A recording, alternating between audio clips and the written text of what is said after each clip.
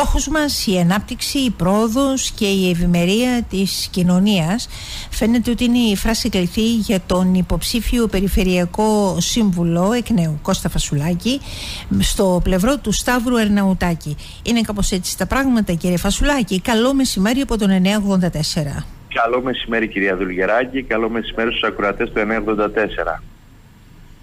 Είναι έτσι τα πράγματα, έτσι όπως τα λέω; Βεβαίως, όταν είμαστε στα κοινά, όταν έχουμε με ένα μέτωπο, ο αγώνας είναι πολλαπλός. Η ευημερία, η ανάπτυξη του τόπου, η πολιτιστική κληρονομιά που πρέπει να διατηρήσουμε, γιατί εγώ όλα αυτά τα χρόνια πάλεψα γι' αυτό, είναι στις βασικές προτεραιότητες της προσπάθειάς μας. Οι προκλήσεις πια είναι πολλές, καινούριε, διαφορετικού τύπου, σε ένα περιβάλλον που συνεχώς μεταλλάσσεται, δημιουργούνται καινούριε συνθήκες οφείλουμε να είμαστε γρήγοροι, επίκαιροι και να ανταποκρινόμαστε προκλήσεις αυτές. Έτσι μια γενική παρατήρηση. Η αλήθεια είναι ότι σε ό,τι έχει να κάνει με το κομμάτι του πολιτισμού γίνεται όλο και περισσότερο λόγος και ακούγεται πια και από νέα παιδιά ο πολιτισμός και ως ταυτότητα σε ένα Ηράκλειο, σε μία Κρήτη από την μία της πλευρά μέχρι την άλλη η οποία πραγματικά έχει μία πλούσια ιστορία, έχει πλούσιο πολιτισμό, έχει πλούσια ήθη και έθιμα. Ε, ακριβώς αυτό, σε ένα πολυπολιτισμικό πια κόσμο όπου οι αποστάσεις και οι επικοινωνίες έχουν αλλάξει, τα δεδομένα τρέχουν και αλλάζουν, η ταυτότητα αυτή της κάθε περιοχής με τα ιδιαίτερα χαρακτηριστικά έχει μια ιδιαίτερη σημασία. Γιατί όταν μιλάμε για πολιτισμό, όταν μιλάμε για ταυτότητα της Κρήτης, ε, είναι ένα, ένα, ένα πλέγμα πραγμάτων. Δεν μπορούμε να μην μιλήσουμε και να μην το συνδέσουμε με τον τουρισμό, παραδείγματος χάρη. Γιατί αυτό μας διαφοροποιεί δεν μπορούμε να μην μιλήσουμε παράλληλα για τη γαστρονομία μέσα από τον πολιτισμό. Δηλαδή η πολιτιστική κουλτούρα και η ταυτότητα μιας περιοχής είναι πλέον ένα πολυσύνθετο πράγμα στη σύγχρονη Αυτή λοιπόν είναι η προτεραιότητα που εμείς σαν Περιφέρεια Κρήτης και σαν Περιφερειακή Αρχή τα προηγούμενα χρόνια βάλαμε και φιλοδοξούμε το επόμενο διάστημα με αυτήν τη σφραγίδα και με αυτήν την λογική να συνεχίσουμε αν οι πολίτες βεβαίως επιλέξουν ε, την δική μας πρόταση και προχωρήσουμε τα πράγματα. Σε αυτό το πολυσύνθετο ε, τομέα πόσοι μπορούν μέσα τομείς να ενταχθούν, πόσο ε, εύκολη είναι η συνεργασία με τον καθένα από εμάς ως φορέα, ως ε, παραγωγική μονάδα, γιατί ο καθένας από εμάς πάντα κάτι πρεσβεύει κύριε Φασουλάκη και το ξέρετε. Βέβαια, κυρία Δουλγεράκη, έχετε απόλυτο δίκιο. Κανείς μόνος του δεν μπορεί να καταφέρει τίποτα. Οι συνέργειες είναι αυτές οι οποίες προχωρούν τα πράγματα παρακάτω και τα εξελίσσουν.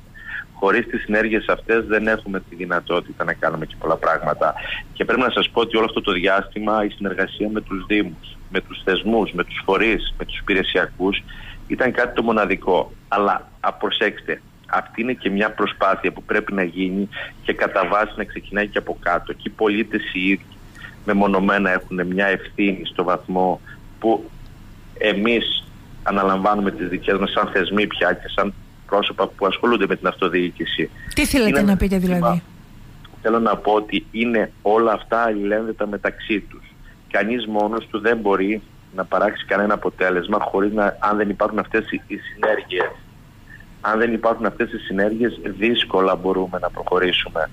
Θέλω να πω ότι ο πολιτισμός είναι μια ευθύνη όλων μας. Βρήκατε Βίκο Αότα μέχρι σήμερα πάνω σε αυτό το νο, τομέα; νομίζω ναι, νομίζω ναι. Υπήρχε μια πολύ θετική ανταπόκριση. Ο κόσμος είδε όλα αυτά τα χρόνια την προσπάθεια που γίνεται, αγκάλιασε τις προσπάθειες και τις δράσεις μας.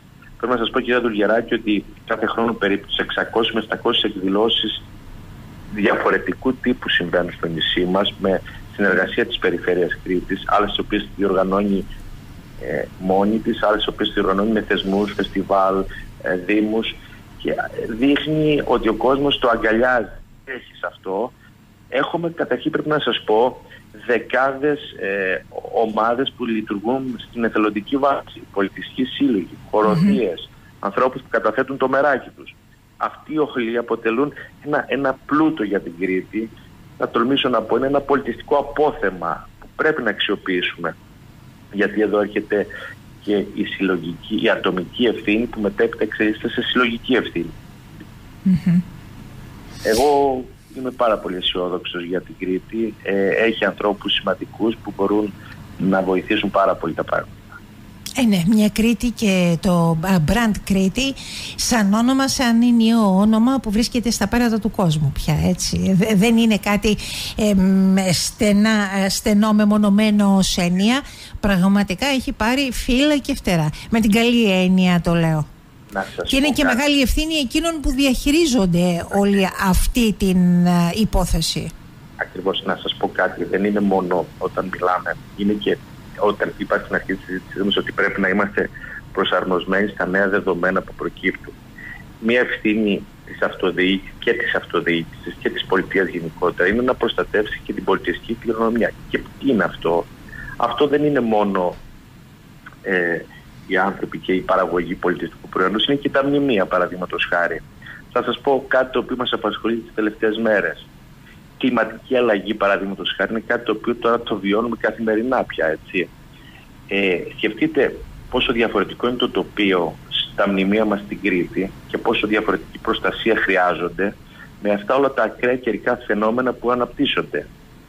Ε, άρα πρέπει να είμαστε έτοιμοι όλοι από την πλευρά και από την ευθύνη του καθένας να μπορεί να απαντήσει σε αυτά τα ζητήματα γρήγορα γιατί οι ακραίες συνθήκες που διαμορφώνουν επηρεάζουν πάρα πολύ τα μνημεία μας που είναι έξερτα παραδείγματος χάρη στα καιρικά φαινόμενα. Πόσο εύκολα μπορούμε να απαντήσουμε πάνω σε αυτό; Δεν μπορούμε εύκολα, αλλά πρέπει να το κάνουμε γιατί υπάρχουν όμως μελέτες που γίνονται, υπάρχουν ζητήματα που φαίνουν, η επιστήμη απαντάει αυτά τα ζητήματα πια και εμείς πρέπει όλοι από την πλευρά μας ο καθένας να τρέξουμε πάρα πολύ γρήγορα.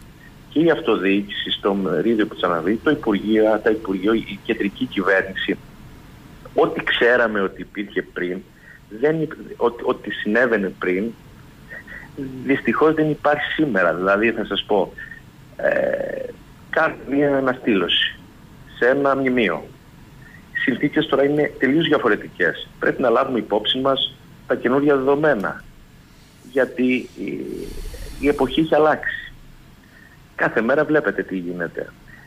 Το αναφέρω ως παράδειγμα αυτό για να πω ότι σε αυτό το συνεχώς μεταβαλλόμενο και γρήγορο τοπίο που διαμορφώνεται έχουμε χρέος όσοι ασχολούμαστε με την αυτοδιοίκηση ή όποιους επιλέξουν οι πολίτες της 8 του Οκτώβρη να έχουν σαν πρώτη προτεραιότητα και αυτό λέω σε όλες τις παρεμβάσεις που κάνω τώρα την προσαρμοστικότητα που πρέπει να δείχνουμε στις καινούργιες καταστάσεις στην πρόληψη βεβαίως, πολύ σημαντικό την πρόληψη αλλά κυρίως στη στα γρήγορα αντανακλαστικά. Δεν υπάρχει το περιθώριο σε αυτή τη χώρα να κάνουμε πολύ μεγάλους και αργούς σχεδιασμούς.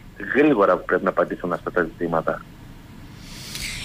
Ούτως ή άλλως στο παρελθόν πολλά πράγματα χάθηκαν, πολλά πράγματα έμειναν πίσω, πολλά πράγματα έμειναν στάσιμα, βάλτωσαν. Δεν αναφέρομαι σε εσάς προσωπικά, αλλά γενικότερα σε αυτό το πλαίσιο το οποίο αναφέρεστε και σήμερα οι νεότεροι ε, θα πρέπει πραγματικά να τρέξουν για να δουν τι μπορούν να σώσουν, να προλάβουν να σώσουν από όλα αυτά τα οποία αναφέρετε. Έχουμε χρέος να το κάνουμε Έχουμε χρέος να παραδώσουμε στις επόμενες γενιές αυτή την πολιτιστική κληρονομιά ατόφια όπως την παραλάβαμε. Αυτό, αυτό νομίζω σε ό,τι με αφορά γιατί δεν μπορεί κανείς να έχει παντού ε, γνώσεις αλλά μια γενική γνώση αλλά σε αυτό νομίζω ότι είναι πολύ σημαντικό και πρέπει να το καταλάβουμε όλοι ότι είναι υπόθεση όλων μας βεβαίως των θεσμών παραπάνω αλλά αυτό νομίζω όμως ότι ακουμπάει τους πάντες. Σας ευχαριστώ πάρα πολύ για αυτή την ε, συνομιλία. Ε, εύχομαι καλή συνέχεια και καλή δύναμη κύριε Φασουλάκη. Ευχαριστώ κυρία Δολιεράκη, να είστε καλά. Και εσείς, καλό σας μεσημέρι.